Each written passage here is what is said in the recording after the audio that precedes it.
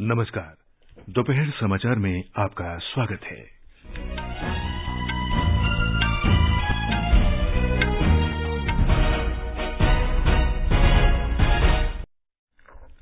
प्रधानमंत्री नरेंद्र मोदी ने आज उत्तर प्रदेश के बस्ती में सांसद खेल महाकुंभ का उद्घाटन किया। कहा, खिलाड़ियों को बेहतर प्रशिक्षण दिलाने के लिए खेल टूर्नामेंट को एक निरंतर आयोजित होने वाली प्रक्रिया बनाया जाना चाहिए।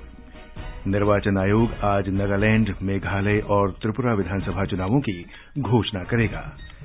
भारत की जी ट्वेंटी अध्यक्षता के अंतर्गत पहली जी ट्वेंटी स्वास्थ्य कार्य समूह की बैठक आज तिरुवनंतपुरम में जारी है। केंद्रीय मंत्री भारती प्रवीण कुमार ने कहा, महामारी से निपटने की नीति हमारी स्वास्थ्य नीति का मुख्य हिस्सा होना चाहिए। अमरीकी संसद में पाकिस्तान का प्रमुख गैर नेटो सहयोगी देश का दर्जा रद्द करने के लिए विधेयक पेश किया गया। और हैदराबाद में भारत और न्यूजीलैंड के बीच पहले एक दिवसीय अंतर्राष्ट्रीय क्रिकेट मैच में भारत का टॉस जीतकर पहले बल्लेबाजी करने का फैसला।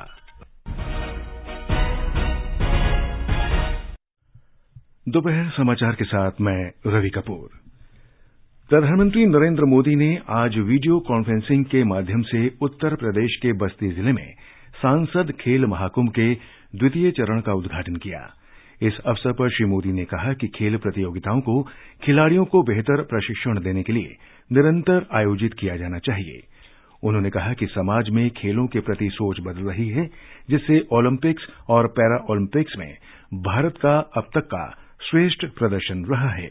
सांसद खेल महाकुंभ में अच्छा प्रदर्शन करने वाले युवा खिलाड़ियों को स्पोर्ट्स अथॉरिटी ऑफ़ इंडिया के ट्रेनिंग सेंटर्स में आगे की ट्रेनिंग के लिए भी चुना जा रहा है। इससे देश की युवा शक्ति को बहुत लाभ होगा। इस महाकुंभ में ही चालीस हज़ार से ज़्यादा युवा हिस्सा ले रहे हैं। और मुझे बताया गया कि पिछले साल की तुलना में ये तीन गुना ज़्यादा है। मैं आप सभी को, मेरे सभी युवा दोस्तों को इन खेलों के लिए ढेर सारी शुभकामनाएँ देता हूँ।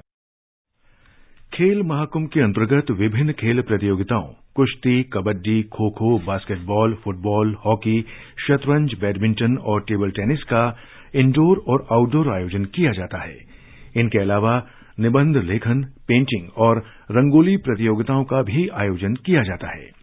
लोकसभा सांसद हरीश द्विवेदी द्वारा वर्ष 2021 से सांसद खेल महाकुंभ का आयोजन कराया जा रहा है।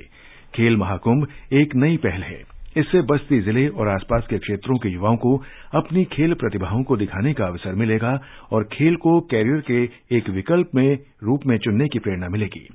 खेल महाकुंभ क्षेत्र के युवाओं में अनुशासन टीम वर्क स्वस्थ प्रतिस्पर्धा, आत्मविश्वास और राष्ट्रवाद की भावना उत्पन्न करने का भी प्रयास है। प्रधानमंत्री कल कर्नाटक और महाराष्ट्र के दौरे पर रहेंगे।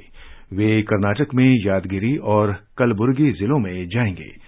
बाद में प्रधानमंत्री मुंबई में कई विकास कार्यक्रमों का उद्घाटन और लोकार्पण करेंगे तथा आधारशिला रखेंगे। केंद्रीय मंत्रिमंडल की बैठक आज नई दिल्ली में होगी। इसकी अध्यक्षता प्रधानमंत्री नरेंद्र मोदी करेंगे। ये समाचार हमारी website news on AIR dot com slash Hindi और हमारे mobile app news on AIR पर भी उपलब्ध हैं।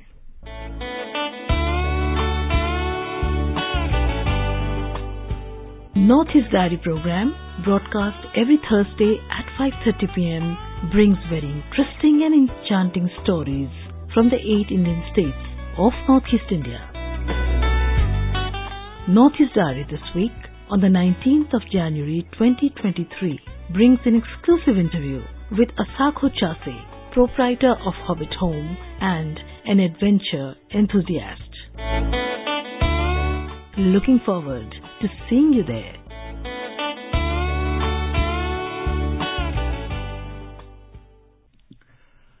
दोपहर समाचार में आपका फिर स्वागत है। निर्वाचन आयोग अब से थोड़ी देर में नागालैंड, मेघालय और त्रिपुरा विधानसभा के चुनावों की तारीखों की घोषणा करेगा। इस संबंध में आयोग ने आज प्रेस कॉन्फ्रेंस का आयोजन किया है। नागालैंड विधानसभा का कार्यकाल इस साल 12 मार्च, मेघालय विधानसभा का कार्यकाल 15 मार्च और त्रिपुरा विधानसभा का कार्यकाल 22 मार्च को समाप्त होने जा रहा है। भारत की जी ट्वेंटी अध्यक्षता के अंतर्गत जी ट्वेंटी स्वास्थ्य कार्य समूह की पहली बैठक आज केरल के तिरुवनंतपुरम में शुरू हुई।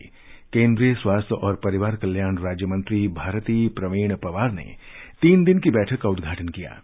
इस अवसर पर उन्होंने कहा कि महामारी से निपटने की नीति हमारी स्वास्थ्य नीति का मुख्य हिस्सा होना चाहिए। आज विश्व के देश एक दूसरे से जुड़े हुए हैं, ऐसे में किसी भी तरह के स्वास्थ्य संकट से आर्थिक संकट पैदा होता है। डॉक्टर पवार ने कहा कि महामारी से बचाव और निपटने की तैयारी के लिए बहुक्षेत्रीय और बहुपक्षीय प्रयासों में समन्वय की ज़रूरत होती है Despite facing the challenges posed by once in a century crisis, G20 countries have consistently worked towards promoting coordinated efforts among its members to ensure the achievement of good and equitable health for all. Health became an integral part of the G20 agenda with the establishment of health working groups during the German presidency in 2017. केंद्रीय विदेश राज्य मंत्री we Muraleedharan ने चिकित्सा पद्धतियों और नवाचार की भारत की समृद्ध संस्कृति पर प्रकाश डाला उन्होंने कहा कि प्रधानमंत्री नरेंद्र मोदी का एक पृथ्वी एक परिवार एक भविष्य का आह्वान तेज़ी से वैश्वीकृत होती दुनिया के अनुरूप है। इंडोनेशिया और ब्राज़ील के ट्रॉइका सदस्यों ने तीन स्वास्थ्य प्राथमिकताओं को स्थापित करने के लिए भारत की जी ट्वेंटी की अध्यक्षता की सराहना की। उद्घाटन समारोह में जी ट्वेंटी सदस्य देश, विशेष आमंत्रित देश, अंतर्राष्ट्रीय संगठन, मंच और विश्व स्वास्थ्य संगठन तथा विश्व बैंक के प्रतिनिधि उपस्थित थे। बैठक में तीन मुख्य प्राथमिकताओं स्वास्थ्य, आपात स्थितियों से बचाव और निपटने की तैयारी, औषधि क्षेत्र में सहयोग को मज़बूत करना और सभी के लिए स्वास्थ्य सुविधा उपलब्ध कराने में सहायता के लिए डिजिटल स्वास्थ्य नवाचार पर चर्चा होगी। बैठक में जी ट्वेंटी सदस्य देश, विशेष आमंत्रित देश और अंतर्राष्ट्रीय संगठन के प्रतिनिधि भाग ले रहे हैं। केरल उच्च न्यायालय ने राज्य सरकार को पिछले वर्ष सितंबर में हड़ताल के दौरान सार्वजनिक और निजी संपत्ति को हुए नुकसान के लिए प्रतिबंधित पॉपुलर फ्रंट ऑफ़ इंडिया, उसके पदाधिकारियों और समर्थकों से पाँच करोड़ बीस लाख रुपए की वसूली करने का निर्देश दिया है। न्यायालय ने कहा है कि वसूली तेईस जनवरी तक पूरी हो जानी चाहिए। राज्य सरकार से इस संबंध में एक अनुपालन रिपोर्ट दाखिल करने को कहा गया है। न्यायमूर्ति ए के जयशंकरन नाम्बियार और मोहम्मद नियाज की खंडपीठ ने स्पष्ट किया कि संबंधित पक्षों को उनकी संपत्तियों को कुर्क करने के लिए पूर्व नोटिस जारी करने की आवश्यकता नहीं है। मामले की सुनवाई 24 जनवरी को की जाएगी। कांग्रेस नेता और पंजाब के पूर्व मंत्री मनप्रीत सिंह बादल आज भारतीय जनता पार्टी में शामिल हो गए। नई दिल्ली स्थित भाजपा मुख्यालय में केंद्रीय मंत्री पीयूष गोयल की मौजूदगी में उन्हें पार्टी में शामिल किया गया। श्री गोयल ने पार्टी में उनका स्वागत करते हुए विश्वास जताया कि उनके शामिल होने से पंजाब में भाजपा को मजबूती मिलेगी। उत्तर प्रदेश के मुख्यमंत्री योगी आदित्यनाथ ने घोषणा की है कि नेपाल विमान दुर्घटना में गाजीपुर के चार मृतकों के पार्थिव शरीर लाने का खर्च राज्य सरकार वहन करेगी। मुख्यमंत्री ने मृतकों के परिजनों को पाँच पाँच लाख रुपए अनुग्रह राशि देने की भी घोषणा की। गाजीपुर ज़िले के चार लोगों की नेपाल विमान दुर्घटना में मौत हो गई थी। देश में पिछले 24 घंटों के दौरान कोविड के 128 नए मामले सामने आए हैं। स्वास्थ्य मंत्रालय ने बताया है कि इस दौरान एक सौ तिहत्तर रोगी स्वस्थ हुए हैं। स्वस्थ होने की दर अट्ठानवे दशमलव आठ प्रतिशत है। मंत्रालय के अनुसार देश में वर्तमान में एक हज़ार नौ सौ अट्ठानवे रोगियों का इलाज चल रहा है। राष्ट्रव्यापी टीकाकरण अभियान के अंतर्गत पिछले 24 घंटों में छियानवे हज़ार से अधिक टीके लगाए गए। अब तक कुल 220 करोड़ 16 लाख टीके लगाए जा चुके हैं। ये समाचार आकाशवाणी से प्रसारित किए जा रहे हैं।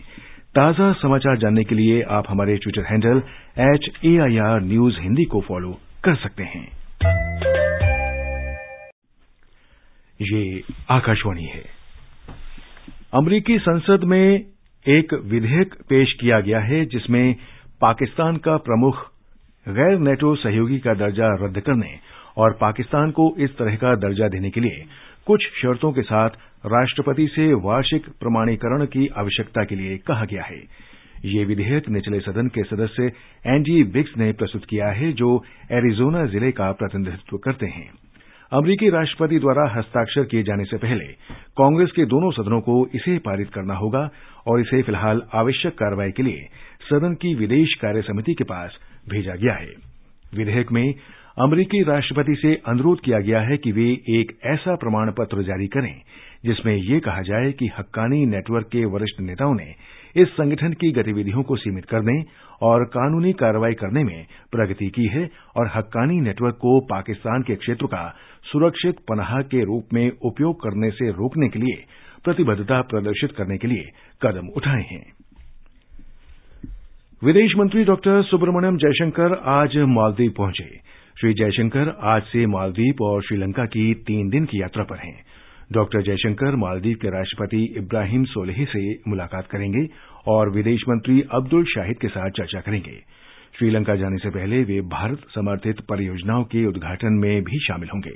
ब्यौरा हमारे संवाददाता से। यात्रा के पहले हिस्से में आज डॉक्टर एस जयशंकर मालदीव पहुँचे हैं, जहाँ वे द्विपक्षीय सहयोग पर प्रगति की समीक्षा करने के लिए मालदीव के विदेश मामले के मंत्री अब्दुल्ला शाहिद के साथ बातचीत करेंगे। दोनों कई समझौता ज्ञापनों का भी आदान प्रदान करेंगे। विदेश मंत्री हनी मधु अंतर्राष्ट्रीय हवाई अड्डे के विकास परियोजना के ग्राउंड ब्रेकिंग समारोह में भाग लेंगे, जो की भारतीय लाइन ऑफ़ क्रेडिट के माध्यम से किया जाएगा। इसके बाद वे भारतीय अनुदान सहायता के तहत विकसित शवियानी फवाकिदो सामुदायिक केंद्र का उद्घाटन करेंगे। डॉक्टर जयशंकर कल कोलंबो जाएँगे। जाएँगे, जहाँ उनका श्रीलंकाई नेतृत्व से मिलने का कार्यक्रम है। दोनों देशों के बीच क्षेत्रों में संबंधों को और मज़बूत करने के कदमों पर विदेश मंत्री अली साबरी के साथ कल चर्चा भी करेंगे। आकाशवाणी समाचार के लिए कोलंबो से मैं अहमद मोइन फारूकी। विश्व का सबसे लंबा नदी क्रूज एमवी गंगा विलास बांग्लादेश होकर डिब्रूगढ़ के रास्ते बिहार में है। क्रूज में स्विट्जरलैंड के 32 पर्यटक यात्रा का आनंद ले रहे हैं। हमारे संवाददाता ने खबर दी है कि क्रूज आज सिमरिया बेगूसराय पहुंचेगा। क्रूज के पर्यटक आज सिमरिया में गंगा के तटवर्ती गाँव का परिभ्रमण कर लोगों से मुलाकात करेंगे। बिहार पर्यटन विकास निगम के महाप्रबंधक अभिजीत कुमार ने आकाशवाणी को बताया कि रिवर क्रूज से रोज़गार के नए अवसर पैदा होंगे। पर्यटन की असीम संभावनाओं को भी विकसित करेगा। नए नए चैनल्स खुलेंगे। तो दोनों पहलू है। लोग आनंद भी ले सकते हैं और दूसरा कि हम लोग इसको अगर पर्यटन के माध्यम से देखें तो रोज़गार भी हम लोग मुहैया करेंगे और पानी के रास्ते से गुजरने पर बहुत सारी संभावनाओं को जन्म देगा। गंगा विलास क्रूज का आज रात्रि पड़ाव सिमरिया में रहेगा और कल मुंगेर के लिए प्रस्थान कर जाएगा। आकाशवाणी समाचार के लिए पटना से कृष्ण कुमार लाल।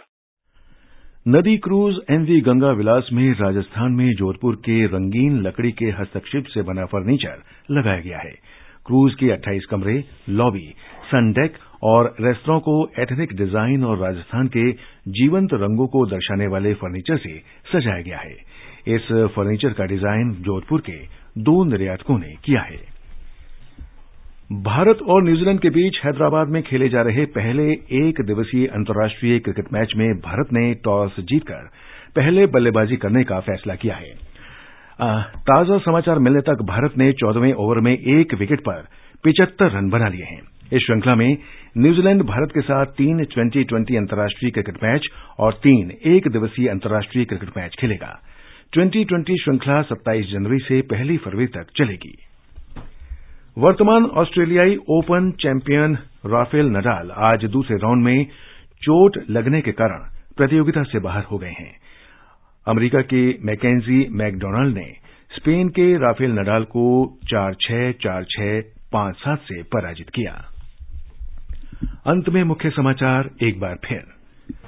प्रधानमंत्री नरेंद्र मोदी ने आज उत्तर प्रदेश की बस्ती में सांसद खेल महाकुंभ का उद्घाटन किया। कहा, खिलाड़ियों को बेहतर प्रशिक्षण दिलाने के लिए खेल टूर्नामेंट को एक निरंतर आयोजित होने वाली प्रक्रिया बनाया जाना चाहिए। निर्वाचन आयोग अब से कुछ देर में आज नागालैंड, मेघालय और त्रिपुरा विधानसभा चुनाव तारीखों की घोषणा करेगा। भारत की जी ट्वेंटी अध्यक्षता के अंतर्गत पहली जी ट्वेंटी स्वास्थ्य कार्य समूह की बैठक आज तिरुवनंतपुरम में जारी है। केंद्रीय मंत्री भारती प्रवीण कुमार ने कहा, महामारी से निपटने की नीति हमारी स्वास्थ्य नीति का मुख्य हिस्सा होना चाहिए। अमरीकी संसद में पाकिस्तान का प्रमुख गैर नेटो सहयोगी देश का दर्जा रद्द करने के लिए विधेयक पेश किया गया। इसके साथ ही दोपहर समाचार का ये अंक समाप्त हुआ। नमस्कार।